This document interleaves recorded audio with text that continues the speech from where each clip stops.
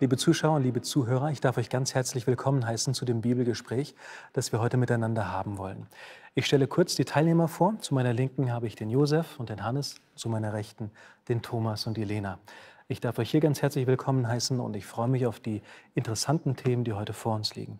Bevor wir einsteigen, wollen wir, wie es gute Gewohnheit bei uns ist, mit einem Gebet beginnen. Unser großer Gott, danke Herr, dass wir dein Wort wieder öffnen dürfen. Danke für die spannenden Themen, die wir uns ansehen wollen und dass dein Wort so viel Interessantes und Wichtiges für uns beinhaltet. Wir wollen dich bitten, Herr, dass du uns hilfst, die Texte, die wir lesen, die Gedanken, die wir uns machen, dass du uns führst und dass wir alles recht verstehen. Bitte hilf uns, die Zusammenhänge, die gegeben sind, die zum Teil auch komplex und schwierig sind, doch recht zu verstehen und auch einfach in Worte fassen zu können. Danke, Herr, für deine Hilfe. Amen. Amen. Amen. Das Thema, das uns die zurückliegende Woche beschäftigt hat, war das Siegel Gottes und das Malzeichen des Tieres, Teil 2. Wir kommen jetzt bei diesem zweiten Teil tiefer hinein in die eigentliche Materie und wollen uns genau damit, das Siegel Gottes, Malzeichen des Tieres, näher befassen. Zum Beginn würde ich gerne mit euch mir Gedanken darüber machen, wozu ein Siegel eigentlich dient. In der Antike, das würde mich interessieren, aber auch, wo es heute noch Siegel gibt.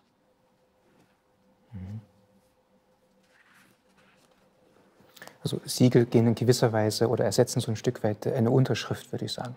Heute hat man ja seine eigene Unterschrift und es gab eine gewisse Zeit, da hat der König seinen Siegelring gehabt und hat es aufs Wachs drauf gedrückt, um damit diesen Brief zu bestätigen, dass er von ihm kam. Das beinhaltet also eine gewisse Autorität von einer, einer hohen Stelle, ja? Ja, mhm. ja damit wurden ja auch Briefe verschlossen, mhm. damit man dann nicht einfach lesen konnte und wusste, okay, das ist wirklich an dem Adressanten mhm. angekommen. Denn das Siegel musste gebrochen werden, wenn der Brief geöffnet wurde. Und so wusste jeder spätere Leser, da hat schon mal jemand reingeschaut. Mhm. Also es hilft auch etwas zu bewahren, ja, die Sicherheit zu gewährleisten von einem Inhalt. Es hat sich nichts geändert über die Jahrhunderte, Jahrtausende. Heute nennt man es Zertifikate ja. und sind ganz wichtig. Keine Mail geht mehr anders raus und so weiter. Ja. Insofern, die Technik hat sich etwas geändert, aber letztendlich der Inhalt, wer hat es ausgestellt, hat er die Berechtigung und so weiter, hat sich nichts getan. Mhm. Das ist heute genauso, wie, mindestens genauso wichtig und wohl noch mehr in Benutzung, als es früher der Fall war. Mhm. Gerade wenn du sagst, dass es bei E-Mails mit dabei ist, wie viele werden da ständig geschrieben. Ja? Genau. Dann gibt es ein digitales Siegel, damit klar ist, dass es ein authentischer Absender war. Genau. Und dass der Inhalt nicht verändert wurde und so, genau all diese Dinge. Ja. Im Prinzip das Gleiche, wie wir bei den Siegeln haben, über die wir heute nachdenken. Mhm. Siegel hat natürlich auch etwas mit einem Besitzanspruch zu tun. Ja. Wenn ich da damals so einen Siegelring da irgendwo drauf gedrückt habe, dann hat es geheißen, das gehört mir oder es kommt von mir. Das mhm. hat also was mit Besitz zu tun denke da immer an diese alten Wildwest-Filme, ne? da sind die Rinderherden und die kriegen dann so ein Siegel, unter Anführungszeichen, eingebrannt. Und dann hat man genau gewusst, das Rind gehört zu dieser Herde oder zur anderen Herde. Mhm. Also das hat was mit Besitzanspruch auch zu tun. Da haben wir also schon einige Aspekte, die in der Antike gegeben waren, aber die durchaus auch heute noch gegeben sind. Wir haben ja auch heute noch Siegel, wenn, es, wenn wir sagen mit Brief und Siegel, ja, bedeutet es, dass es etwas mit Autorität ausgestellt ist. Das kann eine Urkunde zum Beispiel sein. Ämter verwenden auch heute noch Siegel, wir nennen es häufig auch Stempel, um zu zeigen, dass es die Autorität dieser Behörde. Das, was hier steht, das ist rechtens so. Wir werden jetzt zunächst mal in einzelne prophetische Texte hineinschauen, bevor wir uns dann wieder diesem Thema Siegel und Malzeichen nähern werden. Zunächst sehen wir uns Texte an, die mit der sogenannten tödlichen Wunde zu tun haben und eine Zeit der Verfolgung. Josef, darf ich dich bitten, Daniel 7, Vers 25 zu lesen und Thomas, wenn du Offenbarung 13, Verse 3 bis 5 lesen würdest. Daniel 7, Vers 25, dort heißt es, und er wird freche Reden gegen den Höchsten führen und die Heiligen des Allerhöchsten aufreiben. Und er wird danach trachten, Zeiten und Gesetz zu ändern. Und sie werden in seine Gewalt gegeben für eine Zeit, zwei Zeiten und eine halbe Zeit. Mhm. Merken wir uns, hier geht es um dreieinhalb Zeiten, in der die Heiligen des Volk Gottes verfolgt werden. Gut, und jetzt kommt Offenbarung 13 ab Vers 5. Und es wurde ihm ein. Also drei bis fünf, bitte. Drei bis fünf, okay, Offenbarung 13, drei bis fünf. Und ich sah einen seiner Köpfe wie zu Tode verwundet. Und seine Todeswunde wurde geheilt. Und die ganze Erde sah verwundert dem Tier nach. Und sie beteten den Drachen an, der dem Tier Vollmacht gegeben hatte, und sie beteten das Tier an und sprachen, wer ist dem Tier gleich? Wer vermag mit ihm zu kämpfen? Und es wurde ihm ein Maul gegeben, das große Worte und Lästerungen redete, und es wurde ihm Macht gegeben, 42 Monate lang zu wirken.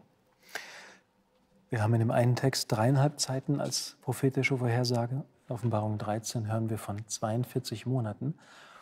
Wenn man dreieinhalb Zeiten, was man auch als dreieinhalb Jahre übersetzen könnte, wenn wir das miteinander vergleichen, merken wir, wir kommen auf dieselbe Zeitspanne. Dreieinhalb Jahre sind nun mal 42 Monate. Es geht also in diesen beiden Texten um das Gleiche. Was wisst ihr über diese Zeitspanne? Es geht offenbar um Verfolgung, es geht um Lästerung gegen Gott, hier ist eine gottesfeindliche Macht, das entnehmen wir dem Text. Aber wenn wir das in der Geschichte verankern wollen, was ist denn da historisch passiert über diese Zeit hinweg und wie lang geht die eigentlich? Wenn ich in Daniel Kapitel 7 hineinschaue und die Verse auch vorher mir anschaue, da geht es um diese vier Tiere. Das vierte Tier ist ein schreckliches Tier und das ist parallel auch zu Daniel Kapitel 2. Das ist offensichtlich das römische Reich. Und dann wird der Blick von Daniel auf die Hörner gelenkt, zehn Hörner. Das sind also die Völker, die Germanen und so weiter, die hier das römische Reich abgelöst haben. Und danach kommt erst dieses kleine Horn auf und das beherrscht dann diese dreieinhalb Zeiten lang die Welt. Das heißt, ich kann chronologisch sagen, das muss hier nach dem Römischen Reich sein und nach Beginn der Völkerwanderung sein. Es muss also hier danach eine Macht aufkommen, die hier ganz speziell und wichtig ist. Und so reden wir von der mittelalterlichen Zeit. Genau. Denn nach dem Römischen Reich setzt ja dann das Mittelalter ein. Da wäre der Beginn der Verfolgung. Wenn wir es einfach ausrechnen, dreieinhalb Zeiten kommen wir auf zwei, äh, äh ein Jahr wurde gerechnet mit 360 Tagen. Mhm. Stimmt nicht ganz, wissen wir, aber zum Beispiel in der Finanzwelt ist das bis heute so, also auch gar nicht so überraschend. Äh, und äh, dreieinhalb mal 360 sind 1260 Tage, respektive hier bei apokalyptischer Prophetie reden wir von Jahren, sind es 1260 Jahre, mhm. die wir auf so einen Startzeitpunkt dann draufrechnen müssten. Also eine wirklich lange Zeit. Wir haben schon gemerkt, nach dem Römischen Reich, also wir können sagen, ganz grob, nach 500 muss es gewesen sein, dass es losgeht. Und dann reicht es damit bis in Neuzeit, bis grob fast 1800. Mhm. Jetzt würde ich es gerne noch ein bisschen genauer festlegen. Mhm. Wir haben ja gerade in der adventistischen Geschichte schon viele Leute gehabt, die sich intensiv damit auseinandergesetzt haben und das erforscht haben, wann genau es losging, bis wann genau es ging. Und da fallen immer wieder die Jahre 538 und 1798. Da haben wir genau diese Spanne von 1260 prophetischen Tagen oder buchstäblichen Jahren. Was wissen wir denn über diese Zeit, mhm. über diese Jahre 538, 1798? Was hat das mit Verfolgung zu tun, was da passiert ist? Mhm. Also ich wollte kurz noch sagen, es wird ja sowohl in Daniel 7 als auch in Daniel 13 darauf hingewiesen, mhm. dass dieses ähm, Tier, von dem hier die Rede ist, auch die Heiligen verfolgt. Mhm. Eine lange Zeit, 1260 Jahre, eine Zeit der Verfolgung. 1798, ähm, wenn es jetzt das Ende ist, da passiert natürlich etwas. Ja. Ähm, Napoleon ist an der Macht, er hat verschiedene Kriege in Europa und wird zu dieser Zeit, genau 1798, seinen General Berthier äh, nach Italien, nach Rom, in den Vatikan schicken und dort den Papst gefangen nehmen mhm. und einfach absetzen und ins Exil schicken. Mhm. Das ist ein wichtiges Datum. Was hat der Papst mit der Verfolgung zu tun? Mhm. Also wir sehen ja, diese, diese Zeit hier, diese 1260 Jahre, war eine Zeit, wo eine Macht, in dem Fall hier die römisch-katholische Kirche, Andersgläubige verfolgt hat. Mhm. Wenn sie das nicht so gesehen haben wie sie, dann wurden sie verfolgt. Ein Beispiel wären die Waldenser mhm. oder auch die Albigenser. Und mhm. viele andere könnte man da als Beispiele nehmen. Viele, viele Protestanten, die ebenfalls von Katholiken bekämpft worden ja. sind. Ja? Da haben wir also eine lange Zeit der Verfolgung. Kann mir noch jemand sagen, was 538 war? Irgendwie muss ja dort Daniel 725 dann in Erfüllung gegangen sein als ein Startpunkt, von dem aus dann die Verfolgung zumindest radikal dann einsetzte. Das war natürlich ein schleichender Prozess. Die katholische Kirche mit Sitz in Rom hat immer mehr und mehr an Macht gewonnen. Aber im Jahr 538, da gibt es tatsächlich so ein Dekret vom Kaiser, das dem äh, Bischof von Rom, dem Papst, eben eine besondere Macht auch übergeht, sozusagen. Und interessanterweise, das geht sich ja wirklich ganz genau aufs Jahr genau aus.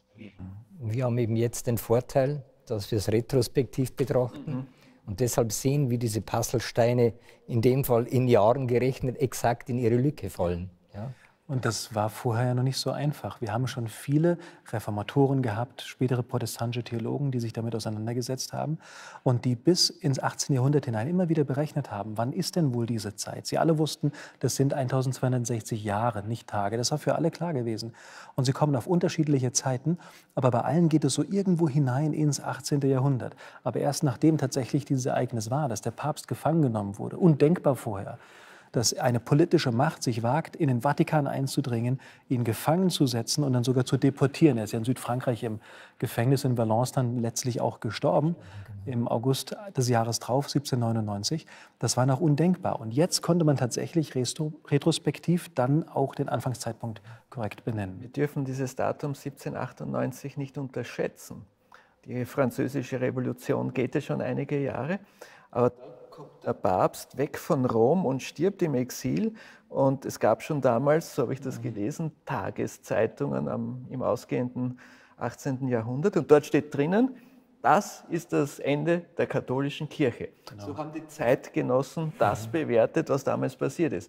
Für uns ist das schon irgendwie alte Geschichte und schon lang vorbei. Aber das war damals absolut sensationell. Die katholische, große katholische Kirche ist zu Ende. Das war die Reaktion in den Tageszeitungen, im Tagesgeschehen. Natürlich wissen wir, das war noch nicht das Ende. Also ja, aber andererseits, äh, wenn in der Offenbarung von der tödlichen Wunde die Rede ist, passt das, ist das sehr interessant, dass das damals, als dieses Ereignis stattfand, genauso gesehen wurde. Das wurde so wahrgenommen. Und das war ja eben genau, das ist ja genau der Punkt, das ist ja auch das, was wir dann in der Offenbarung eben lesen, äh, dass die, alle Menschen ja verwundert sind, weil diese tödliche Wunde wieder heil geworden ist, was 1798er nicht absehbar war, dass Danke. die wieder heil werden würde. Ja. Danke für den Hinweis noch. Es ist wichtig, Offenbarung 13, Vers 3 sagt uns, wie tödlich verwundet, aber es ist heil geworden. Genau. Und da befinden wir uns 1798, 99, 1800, genau in dieser Zeit, wo die Leute tatsächlich dachten, das würde nicht mehr aufkommen. Das war so ein Paukenschlag damals. Es ist verwunderlich, dass man heute in Geschichtsbüchern nichts mehr davon liest. Französische Revolution ist ein großes Thema. Dass der Papst gefangen genommen wurde, ist bestenfalls eine Randnotiz. Meist wird es überhaupt gar nicht erwähnt. Lass mich noch eines sagen zu 538, das müssen wir in dem Zusammenhang auch noch wissen. Daniel 7, Vers 25 spricht ja davon, dass Festzeit und Gesetz geändert werden und daraufhin die Verfolgung losbricht. Was wir 538 auch noch haben in der katholischen Kirche, ist ein wichtiges Konzil, das stattgefunden hat. In Orléans, das dritte Konzil von Orléans, also im Frankenreich. Und das war das neue Zentrum der europäischen Großmacht der Franken. Dort hat man auf dem Konzil beschlossen, dass die katholische Kirche, das ist das erste Mal in der Geschichte gewesen, katholische Kirche in eigener Verantwortung alle verfolgt, die den Sonntag nicht so halten, wie die katholische Kirche es vorgibt. Vorher haben die staatlichen Mächte hier und da mal den Sonntag eingefordert. Aber jetzt wird explizit festgehalten, nicht die staatlichen Mächte, sondern die Kirche selbst.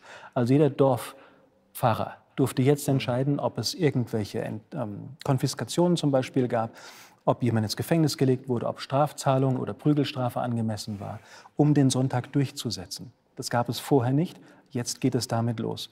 Und damit haben wir einen Paukenschlag in der Hinsicht wieder, dass die Kirche ihr falsches Gesetz die Festzeit des Gesetzes geändert hat und gewaltsam durchsetzt. Da sind wir natürlich wieder beim Wortlaut der Bibel, sowohl in Daniel wie auch dann schlussendlich in der Offenbarung.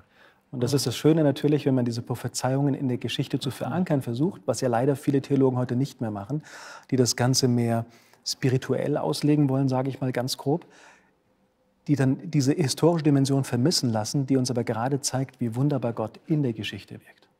Es ist ja gerade für die Glaubwürdigkeit der Bibel ein ganz also massives Argument, dass sich die Dinge eben über unglaublich lange Zeiträume ja so exakt erfüllt haben. Mhm. Gerade deshalb, weil es eine empirische Tatsache für jeden Menschen ist, dass kein Mensch die Zukunft kennt. Und dass es gerade in der Zeit passiert. Wenn man sie bedenkt, Johannes hat es schon gesagt, wir sind in der französischen Revolution. Die Menschen glauben, die katholische Kirche sei jetzt tot. Und sie sind ja nicht unbedingt traurig darüber. Manche gingen so weit zu sagen, das Christentum insgesamt ist jetzt mhm. am Ende. Und wir werden jetzt endlich nur noch von unserer Vernunft, von der Ratio regiert. Das war gerade diese Zeit. Der Rationalismus erreicht jetzt einen Höhepunkt. Die Religion wird immer mehr zurückgedrängt. Wissenschaft ist der neue Glaube. Und genau in dieser Zeit erfüllt jetzt Gott eine Prophetie in der Geschichte der Menschen. Sie wollen unbedingt Beweise, die erfassbar sind mit dem Verstand. Er gibt ihnen einen. Auf dem Präsentierteller, unübersehbar letztlich. Was dazu geführt hat, dass man in dieser Zeit nach 1798 Daniel Offenbarung so intensiv studiert hat wie nie zuvor und wohl auch nie mehr hinterher. Woraus ja dann eine Menge Erweckungsbewegungen in Europa, in Afrika und auch in Amerika entstanden sind, unter anderem die Miller-Bewegung. Wegen dem, was in Rom passiert ist, weil man gesehen hat, die Bibel ist doch historisch begründet und sie ist rational erfassbar. Gott hat uns einen Beweis gegeben, auf den wir so lange gewartet haben.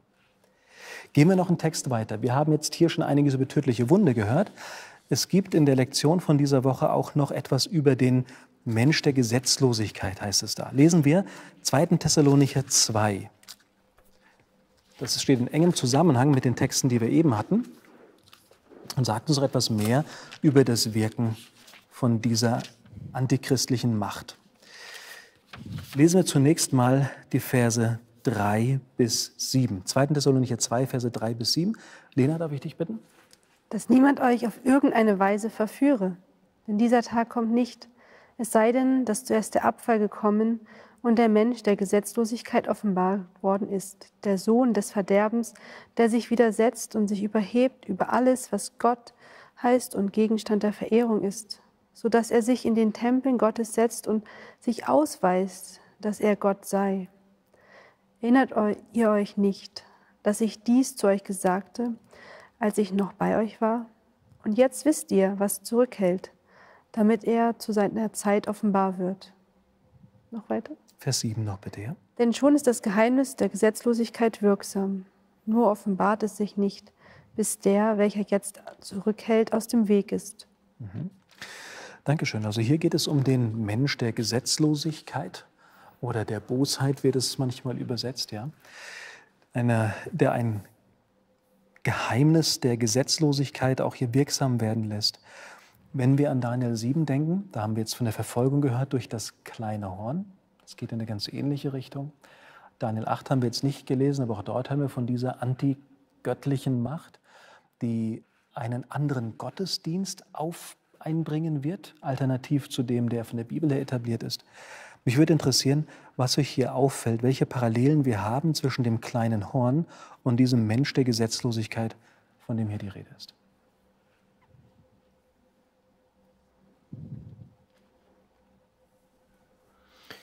Also im Grunde im Vers 3 und im Vers 4 wird uns ja hingewiesen, es kommt ein Abfall. Apostasia, das griechische Wort wird auch darauf hingewiesen in Vers 4, dass es sich widersetzt gegen alles erhebt, was Gott oder Gegenstand der Verehrung heißt. Das heißt, hier haben wir wieder diese, diese Rebellion oder diese Gotteslästerung, mhm. wovon wir schon gehört haben in Daniel und auch in Offenbarung. Mhm.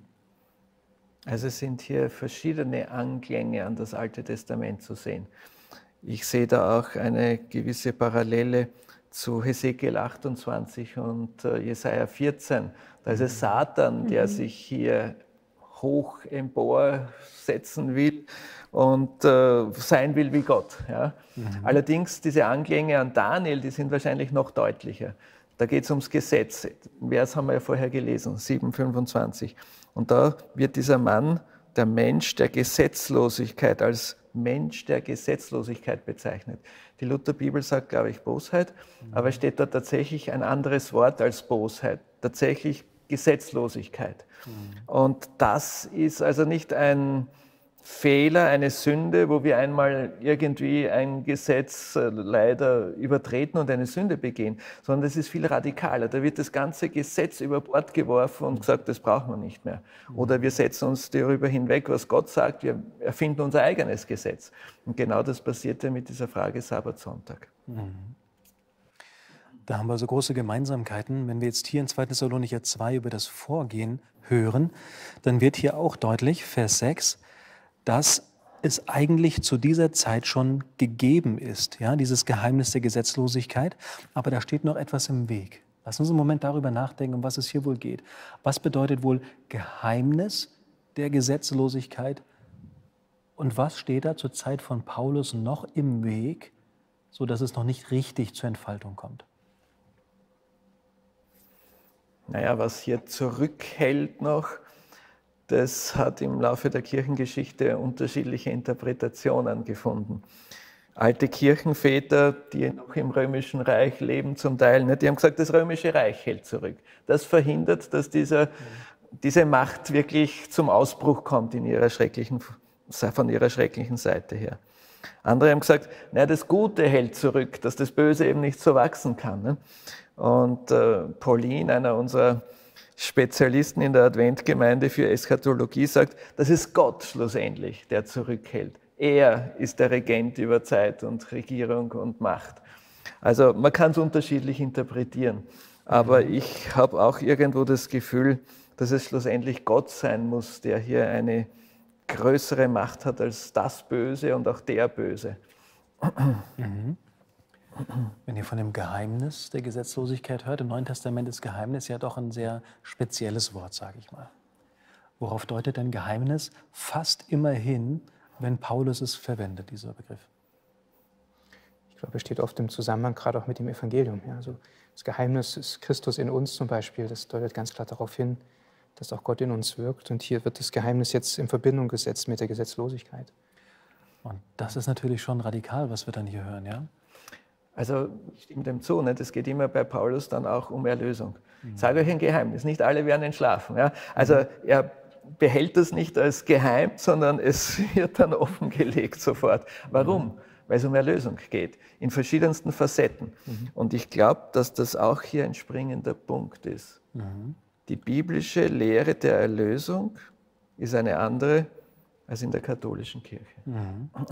Wir haben, ich Römer 16, 25 bis 26 von Paulus höre, was das Geheimnis ist, dann ist es auch etwas, das kundgetan wird. Es war geheim, jetzt ist es offenbart. Und das ist der Lösungsplan, der sich in Jesus Christus erfüllt. Und das haben wir so oft im Neuen Testament, gerade bei Paulus, dass wir davon ausgehen müssen, was er hier eigentlich sagen möchte, ist, da kommt ein alternatives Evangelium. Während das wahre biblische die Gesetzlichkeit, also Gesetzlichkeit im Sinne von Gesetzestreue predigt, haben wir hier ein Evangelium, das die Gesetzlosigkeit predigt. Ein anderes Evangelium. Passt ja sehr gut im Zusammenhang, denn wir haben den Mensch der Gesetzlosigkeit. Was sollte er anderes predigen? Und das ist nichts anderes als das kleine Horn in Daniel 7 und 8, wo wir von einem andersartigen Gottesdienst hören, der, so heißt es in Daniel 8, sogar verbrecherisch gegen den Wahren eingeführt wird.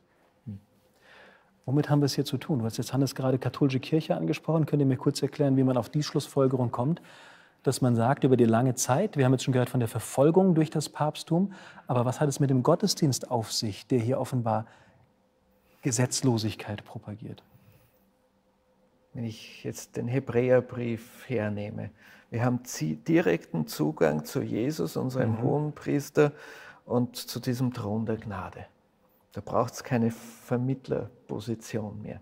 Der katholischen Kirche braucht es immer die Vermittler. Mhm. Das ist die Maria, das sind die Heiligen und das ist auch der Priester, der da vorne steht und eben diese Transsubstantiation da vollzieht, dass hier wirklich der buchstäbliche Leib Jesu ja. in, die, in das Messopfer gezwungen wird, unter Anführungszeichen.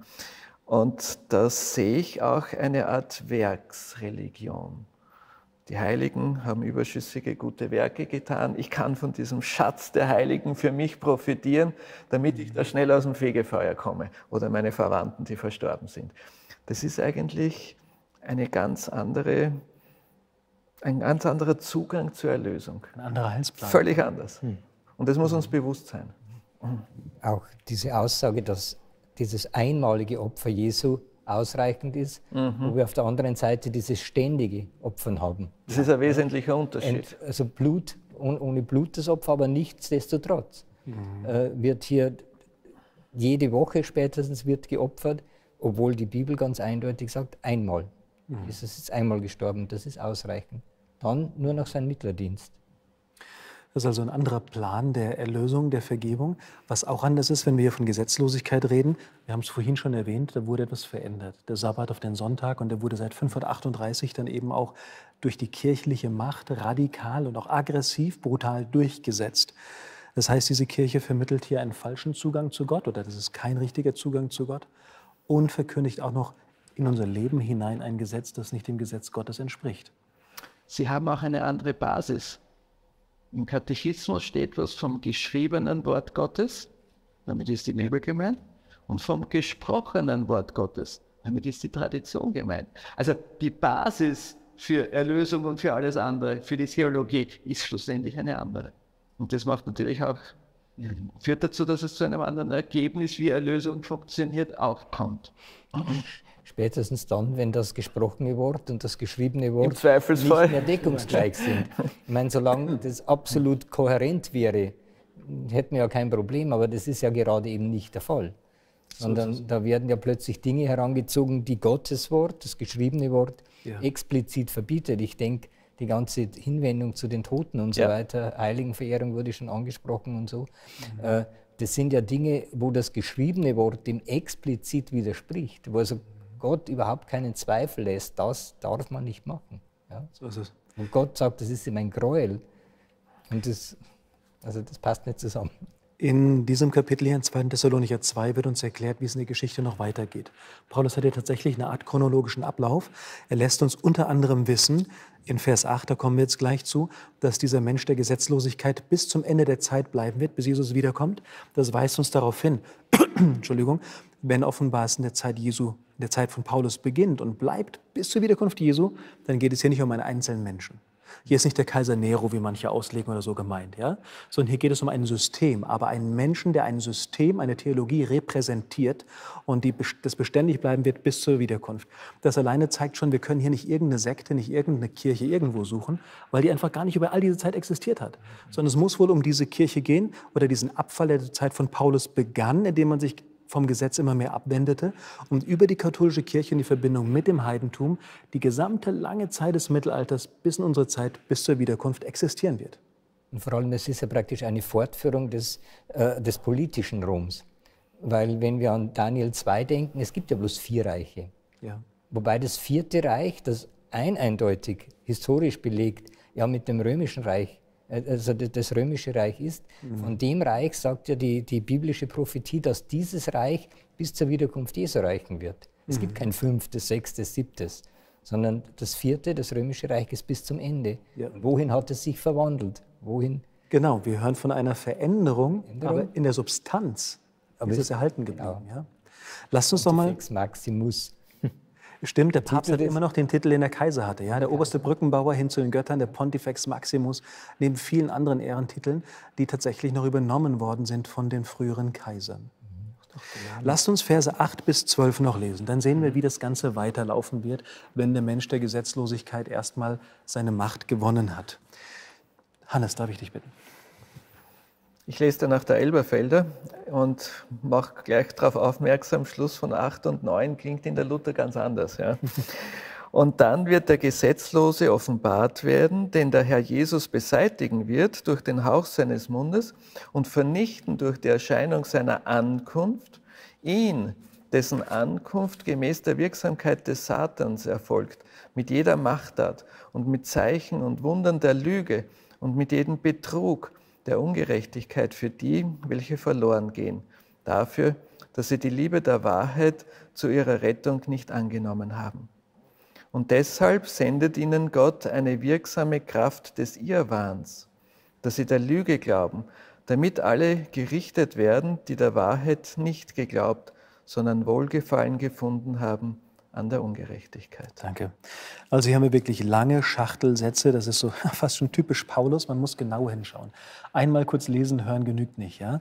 Wenn ich das hier mal in eigenen Worten zusammenfasse, dann haben wir hier die Ankündigung von großen Zeichen und Wundern. Damit wird der Böse, es ist immer noch der Mensch der Gesetzlosigkeit, viele, viele Menschen verführen.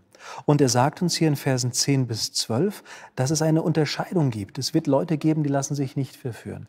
Andere aber schon. Könnt ihr mir sagen, woran der Unterschied festgemacht werden kann? Oder anders formuliert, wie können wir resistent sein, damit wir nicht von diesen betrügerischen Zeichen auch mit dahin gerafft werden? Also hier nach meiner Schlachtübersetzung heißt es, weil sie die Liebe zur Wahrheit nicht angenommen haben. Ja. Also das heißt, die Liebe zur Wahrheit ist offensichtlich der Schlüssel. Und damit hätten wir wieder, was du, Hannes, vorher auch angesprochen hast, das geschriebene Wort, das mein Maßstab sein muss.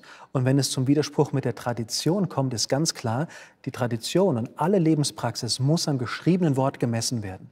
Die Liebe zur Wahrheit und die Bibel versteht unter der Wahrheit immer die Bibel bzw. Jesus Christus als die personifizierte Wahrheit. Das ist der Maßstab. Und dem gegenüber steht, das hören wir in Vers 12, Wohlgefallen oder Luther übersetzt die Lust an der Ungerechtigkeit. Das sind die beiden Dinge, für die ich mich entscheiden muss. Und das sind häufig alltägliche Entscheidungen, kleine Entscheidungen im Alltag, wo ich überlege, ob ich mich an das Wahrhaftige, an das Rechte, an das Richtige halte oder nicht. Und damit beschreite ich einen Weg, der am Ende über Wohl oder Wehe entscheiden wird. Eine Frage noch zu diesem Kapitel und dann wollen wir uns Offenbarung 14 zuwenden, dass wir auch über das Siegel, das Mahlzeichen noch gesprochen haben. Habt ihr schon wahrgenommen in der heutigen Zeit solche Irrlehren oder Zeichen und Wunder? Ist dir irgendwas, was euch Sorgen bereitet, wo ihr sagt, da habt ihr den Eindruck, das gehört in diesen Bereich, den wir hier angekündigt haben? Lena. Ja, es gibt ja immer wieder so Marienerscheinungen, wo Leute dann auch hinpilgern und trinken sie aus irgendeiner Quelle und werden geheilt. Also das spielt schon eine große Rolle auch in der katholischen Kirche. Mhm. Das Pilgern zu irgendwelchen Plätzen, wo mal so ein Wunder passiert ist. Mhm. Wenn ich an die Wunder Jesu denke, dann sind es meistens Krankenheilungen. Und dann frage ich mich, wo finden die heute, angeblich zumindest, statt? In diesen charismatischen und pfingstlerischen Gemeinden. Ja? Also auch dort sehe ich eine Art äh, verkehrte Wunderwelt, wo das Sensationelle plötzlich total wichtig wird aber das nüchterne, klare Bibelwort in den Hintergrund gedrängt wird. Mhm. Und wir müssen beachten, es ist ja tatsächlich angekündigt, dass es Zeichen und Wunder sind. Es wird nicht gesagt, dass es alles Taschenspielertricks seien. Ja. Es wird uns auch nicht die Last auferlegt, dass wir das alles prüfen müssten und dann wissen, dass Gott gewirkt hat, wenn es wahr war, also dass wirklich jemand geheilt wurde.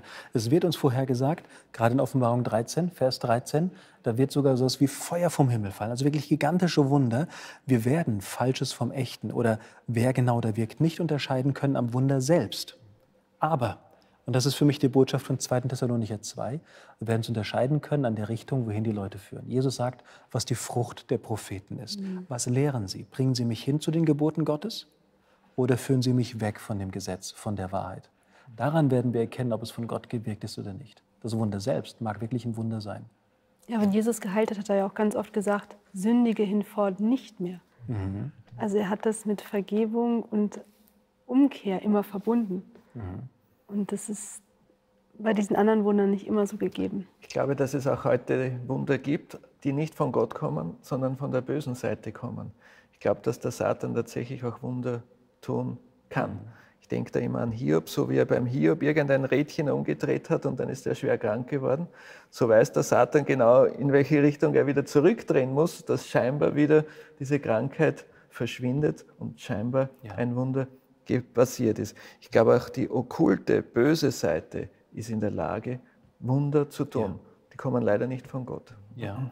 Jetzt müssen wir noch schnell die Kurve kriegen, bevor die Zeit abläuft. Wir haben noch nicht über Siegel und Mahlzeichen gesprochen, obwohl das ja das Thema der Woche ist. Lassen Sie bitte zur Offenbarung 14 gehen. Wir lesen drei Verse, in denen wir von einem Siegel und von einem Mahlzeichen hören. Offenbarung 14, die Verse 1, 9 und 12. Josef, würdest du es lesen? Verse 1, 9 und 12. Und ich sah und siehe, das Lamm stand auf dem Berg Zion und mit ihm 144.000, die trugen den Namen seines Vaters auf ihren Stirnen geschrieben. Und ein dritter Engel folgte ihnen, der sprach mit lauter Stimme, wenn jemand das Tier und sein Bild anbetet und das Mahlzeichen auf seine Stirn oder auf seine Hand annimmt. Plus neun? Genau, plus neun und, neun und, und zwölf. Hier ist das standhafte Ausharren der Heiligen. Hier sind die, welche die Gebote Gottes und den Glauben Jesu bewahren. Dankeschön. Also hier hören wir einmal von dem Siegel, das auf die Stirn gegeben wird, das ist das Siegel Gottes.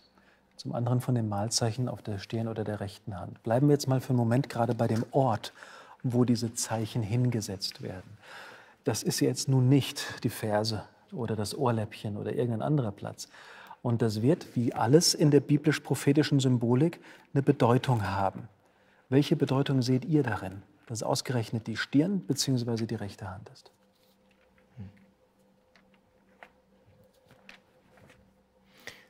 bei mir ist nur die Rede von der Hand. Also die, die Stirn an sich ist natürlich der Ort, wo das Denken stattfindet. Und die Hand ist dann das Tun. Also Denken und Tun geht offensichtlich hier genau in diese Richtung, wenn es ums Malzeichen geht. Ja. Mhm. Ich denke, dass einfach das eine ist der, ein Hinweis, dass ich es vielleicht, dass ich etwas tue, ein Mitläufer bin, im Prinzip vielleicht auch gar nicht wirklich dahinter stehe.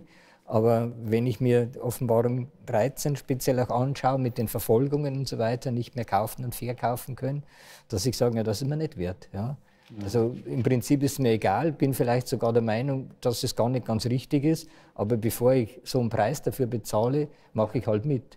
Wohingegen derjenige, der es an der Stirn trägt, wohl eher ein Symbol davon ist, dass er davon überzeugt ist. Ja. Vielleicht auch wohl wissen, dass es gar nicht so richtig ist, das sei dahingestellt. Aber auf alle Fälle, das eine, denke ich, hat mehr mit, mit Tun und das andere mehr mit Überzeugung zu tun. Mhm. Die Offenbarung ist natürlich geprägt vom Alten Testament in ihrer Sprache und Symbolik. Und ich muss bei diesem Text dann natürlich immer an 5. Mose 6, Vers 8 denken. Ja. Ich lese das gleich vor, wenn ich darf. Ja. Und du sollst sie als Zeichen, Stichwort, mhm. ja, an deine Hand binden und sie sollen als Merkzeichen zwischen deinen Augen sein. Zwischen den Augen, das ist äh, die Stirn, das ist für mich synonym. Naja, wovon spricht denn 5. Mose 6? Wenn ich weiß, in 5. Mose 5 werden die zehn Gebote erwähnt, dann weiß ich, das ist der Zusammenhang. Es geht um die zehn Gebote, natürlich inklusive Sabbatgebot. Mhm. Also der Ort, an dem eigentlich Gottes Gesetz steht, wird ja. jetzt dieses Malzeichen oder vom Griechischen her könnte man auch als Stempel übersetzen, des Tieres hingegeben. Das ist schon ein sehr deutlicher Hinweis, wie ich meine, dass es hier bei diesem Zeichen des Tieres offenbar um irgendetwas mit dem Gesetz geht. Mhm. Höchstwahrscheinlich, nach dem, was wir jetzt schon gesehen haben, von dem kleinen Horn, von dem Mensch der Gesetzlosigkeit, das Evangelium oder ähm, Mysterium, Geheimnis der Gesetzlosigkeit, dann wird es hier auch wieder um diese falsche Lehre gehen, die von Gottes Geboten wegführt.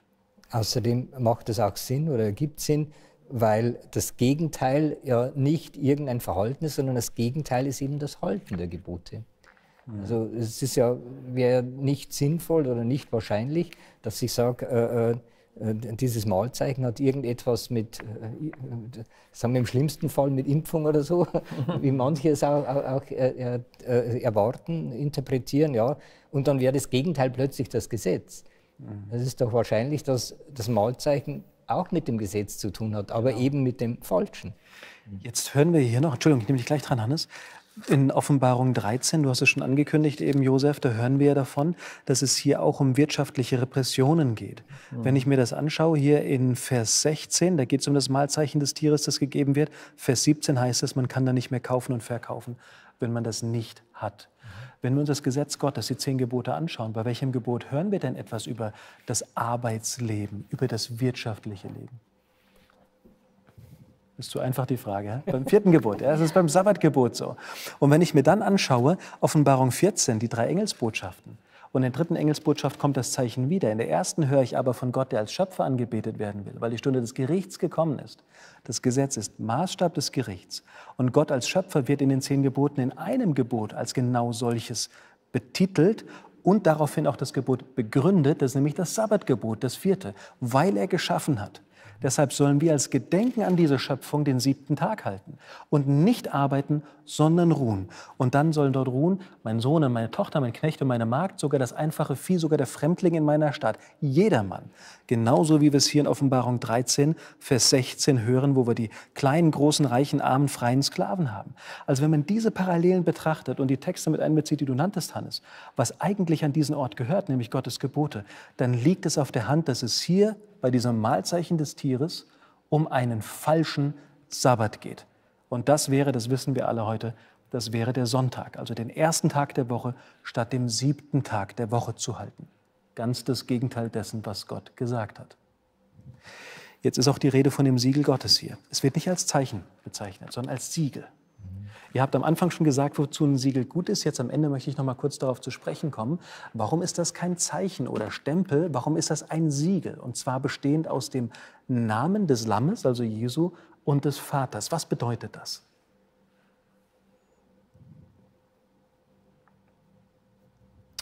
Ich habe schmunzeln müssen, wie ich diese Lektion zur Hand genommen habe und da dieses kleine Bild betrachtet habe. Ein Mann mit der Zahl 666 buchstäblich an der Stirn. Ich glaube nicht, dass das ein Abdruck, ein Barcode, ein Chip oder was auch immer ist. Sondern es geht um den Sabbat und den Sonntag. Und äh, das hat nichts mit einem äußeren Zeichen zu tun, sondern es geht, so wie du gesagt hast, um die Einstellung und die praktische Umsetzung dessen dann. Ich glaube, dass der Sabbat sehr wohl ein Zeichen ist. Im Alten Testament, 2. Mose 31, sagt Gott, zitiert, das ist ein Zeichen, dieser Sabbat. Oder Hesekiel 20, auch wieder, der Sabbat ist ein Zeichen. Ich habe also tatsächlich alttestamentliche Parallelen, die ich brauche, um Offenbarung 13, 14, 7, wo es um Siegel und Mahlzeichen geht, verstehen zu können. Mhm. Also Siegel Gottes Malzeichen des Tieres, das ist ein typisches Gegensatzpaar, so wie mhm. Jerusalem und äh, Babylon oder die Hure und die reine Frau und so weiter. Mhm. Das ist ganz offensichtlich. Und wenn das Siegel der Sabbat ist, dann muss das Malzeichen logisch gefolgert etwas mit einem Ruhetag, einem falschen Ruhetag zu ja. tun haben. Und das ist der Sonntag. Also nichts Äußeres, sondern meine Einstellung mhm. und auch meine Loyalität einer falschen Religion gegenüber. Das spielt natürlich mhm. dann mit. Das ist Kapitel 13, diese Anbetung, die dann ja. gefordert wird. Da wird was Falsches angebetet. Das ist Loyalität.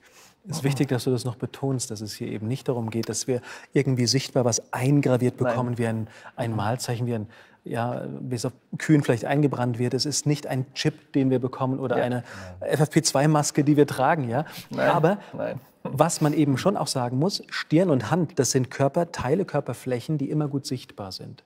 Es wird ein Zeichen sein, das nach außen hin gut erkennbar ist. Und wenn ich mir die zehn Gebote ansehe, dann ist das eben gerade beim Sabbatgebot gegeben. Es braucht nur eine Woche und ich weiß, ob der, die Person den Sabbat hält oder nicht. Also die Sichtbarkeit, die schwingt sicherlich hier auch mit. Unsere Nachbarn hier wissen ganz genau, wann bei uns, an welchem Tag und an welchem Vormittag bei uns alle Parkplätze besetzt sind. Das ist offensichtlich. Ja. Eben, das ist ganz einfach. Eine letzte Frage noch zu dem Siegel. Gottes Siegel ist nur auf der Stirn, nicht auf der Hand. Ihr habt mir schon gesagt, die Hand die steht für das Handeln, für das Ausführen. Das kann bedeuten, ich mache es einfach, weil der Staat das Gesetz vorgibt. Muss nichts mit meiner Überzeugung, meinem Glauben zu tun haben. Habe ich das Malzeichen des Tieres auf der Stirn, bedeutet es, ich bin überzeugt davon. Ich handle gemäß eines falschen, unbiblischen Glaubens. Wenn jetzt das Siegel auf der Stirn ist, geht es sicherlich auch um Überzeugung. Aber das Siegel jetzt besteht aus dem Namen des Lammes und des Vaters. Als letzte Frage, was wird das bedeuten? Ja, neurophysiologisch ist das Ganze ja auch interessant. Es ist ja nicht irgendwie hier oben wie eine Krone oder so, ja, sondern es ist auf der Stirn, wo der Frontallappen gleich dahinter ist. Und das ist ja der Ort, wo wir unsere moralischen Entscheidungen treffen und auch unsere Werte letzten Endes, ähm, ja, ich will sagen, abgespeichert sind, aber trotzdem, da spielt sich viel ab, wie wir handeln. Mhm. Und das sieht man natürlich trotzdem in unserem Handeln, aber da oben wird das Ganze dann verarbeitet. Ich komme noch einmal zurück auf das, was ich ganz am Anfang gesagt habe. Siegel hat auch etwas mit Besitzzeichen zu tun. Mhm. Das Siegel Gottes, auch wenn es da nicht sichtbar ist, mhm. ist ein Besitzzeichen. Das heißt, Gott sagt, du gehörst mir. Und wenn ich der Besitzer einer Sache bin, dann gebe ich Acht auf meine Sache, mhm. auf meine Person in dem Fall. Das passt auch wieder zu Die schreckliche Namen, ja? Zeit braucht uns nicht Angst zu machen.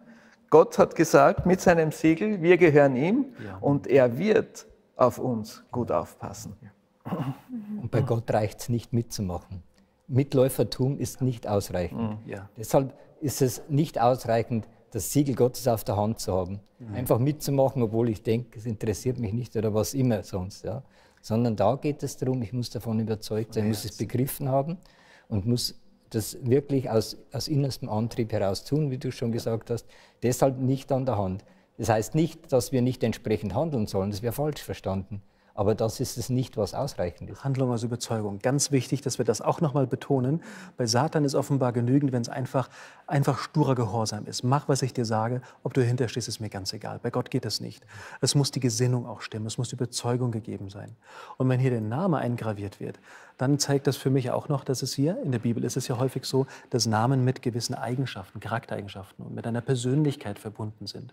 Wenn hier der Name des Lammes und des Vaters eingraviert ist, heißt das, wir sind, wir gehören zu dem Lamm und dem Vater. Mhm. Dieser Besitzanspruch, aber auch charakterlich. Wir haben, ja, Stichwort Frontallappen, wir haben seine Werte übernommen. Wir haben seine Wertmaßstäbe, sein Gesetz in unsere Persönlichkeit übertragen. Oder wie wir es biblisch sagen würden, wir sind geheiligt worden und wirklich Christen. Wir tragen es in unserem Namen und gehören damit ganz zu ihm. Also da steckt eine ganze Menge drin und wir haben noch gar nicht alles rausgeholt. Wir können jetzt bestimmt noch lange weiterreden, mhm. aber wir werden auch in den nächsten Wochen noch Zeit dazu haben. Ich danke euch für die Mitarbeit, für die spannenden Beiträge und Lena, ich würde dich bitten, mit uns zu beten zum Abschluss. Stehen wir auf dazu. Lieber himmlischer Vater, ja, wir sind so dankbar dafür, dass du uns in deinem Wort einige Prophezeiungen gegeben hast, damit wir sehen dürfen, dass du der Gott bist, der die Geschichte in seiner Hand hält, der sie kennt und der sie lenkt. Ja, gerade auch wenn wir über das Thema Endzeit reden, Malzeichen oder das Siegel Gottes, dann ist es gut zu wissen, dass du derjenige bist, der Besitzanspruch an deinen Kindern hat und der sie dann auch gerade durch diese schwierige Zeit bringt.